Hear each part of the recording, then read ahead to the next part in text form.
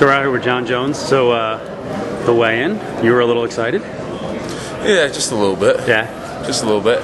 And uh, you know, I, I, tend not to lose my cool, and I don't think things were really going to be like a big issue. I think uh, you know, because every weigh-in I've had so far, I've kind of gotten close to the guy and yeah. got a little, little close. Um, I think Dana White like separating us kind of amped it up a little bit, and once once with the adrenaline already pumping, you know, once you get all physical, it, it can elevate really fast.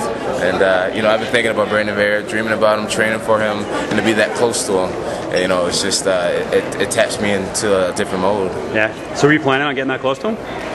I've, uh, if you look at, at like pre, uh, well, like other uh, weigh-ins, I get pretty close to all my opponents. Yeah. I try not to look them in the eyes and I like to stand real close. And uh, it's just something that I've been doing since day one. But uh, and I was planning on that being exactly the same. And uh, you know, it just got a little heated. So you think it was uh, Dana kind of escalating it by trying to be preventative? Yeah, you know, because like I said, I've been focusing on Brandon for a long time now, and so just to be around him, my cheek it's really high. You know, my energy, my strength, my adrenaline starts to pump, and. You know, when I have that feeling in the fight, I obviously control it and, and learn to relax and use it. Um, but when you're not in a fight, you know, and it's like, I don't know, it was, yeah, bottom line, yeah, Dana separating us and getting that, that mental and the physical, merging it together, it was like, kind of got me all riled up. So it was a momentary lapse. So I shouldn't take that as like you're overwhelmed by the situation because you weren't overwhelmed.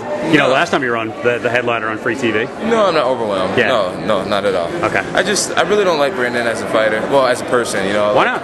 Um, I just think he's disrespectful. I think he's really arrogant. I think he's full of himself. And uh, so far, in all the experiences that I had as a martial artist, you know, everyone's like really humble and respect each other's game, and and uh, you know, worry about themselves, worry you know, worry about improving themselves. And uh, I'm finding a lot with Brandon. He has a lot to say about Mr. Jones. You know, Mr. Jones is the second coming of Jesus Christ, or you know, he hasn't been kicked yet, or he he just talks a lot of trash. And uh, I'm not big on trash talk, so I'm going to really uh, do all my talking in the octagon. So when he says you haven't been hit yet, I mean, can you back back that up and say, hey, you know, in training I get hit pretty good, or is that different? Well, I do get hit in training, but it's like. Um, I'm sure every opponent I've ever, I've ever, fought wanted to hit me. You know what I mean? So to say that I haven't been hit yet, that's not my problem. You know, I'm sure Bonnar and O'Brien and Hamill, all these guys really wanted to hit me, and uh, and they weren't able to, you know, land anything real devastating.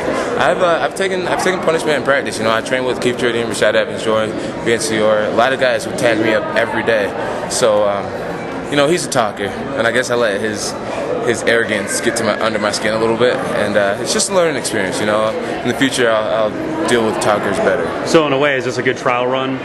Being up on stage, maybe losing your emotions a little bit for the cage tomorrow, to make sure that doesn't happen in the cage. Absolutely, you definitely don't want to fight out of anger or or you know aggression or anything like that. You know, I'm a relaxed fighter. No matter how hard he pushes the pace or or how intense or fast the pace is going, you know, I'm always relaxed. I'm always a thinker when I'm fighting.